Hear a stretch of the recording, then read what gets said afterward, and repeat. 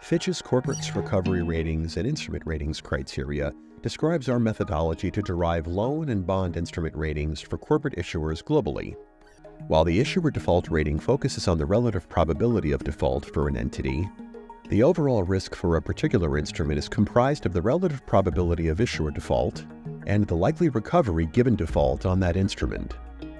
The instrument rating is therefore a function of an entity's IDR and the instrument level recovery rating.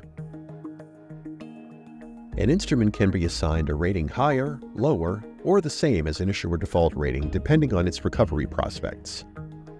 The framework to assign instrument ratings varies across the rating spectrum, as closer proximity to default provides greater visibility into likely scenarios leading to default and the capital structure at default.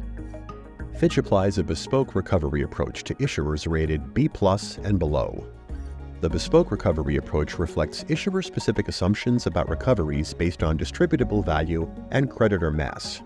Fitch uses one of two approaches to estimate the distributable value. The going concern approach is most frequent and generally relies on estimates of going concern EBITDA and valuation multiple. Alternatively, Fitch may use a liquidation approach if it results in a higher return to creditors. The estimate of creditor claims will include all debt instruments, rated and unrated, as well as all other obligations that may be considered during a default proceeding. A waterfall analysis allocates the estimated distributable value to creditors according to the relative seniority of their claims. The computed recovery estimate is mapped to a recovery rating and notching from the issuer rating. The instrument rating is derived from the entity's IDR and the instrument level recovery rating. Fitch divides the spectrum of recovery percentages into six recovery rating bands, with notching ranging from plus 3 to minus 3. The key assumptions and conclusions of the bespoke recovery analysis are described in the issuer's rating report. While the issuer's recovery tool is a pre-populated working tool detailing the application of the bespoke recovery approach during our most recent rating action, Fitch applies a generic approach to rate instruments for issuers rated BB- or above. The process primarily refers to aggregate recoveries in the market as a whole rather than issuer-specific considerations. For issuers rated BB- and above, the rating assigned to a senior unsecured debt instrument assumes an average recovery in the event of bankruptcy, corresponding to RR4 without notching. Notching is generally restrained to plus 2 or minus 2 within the BB category and plus 1 or minus 1 in the investment grade category.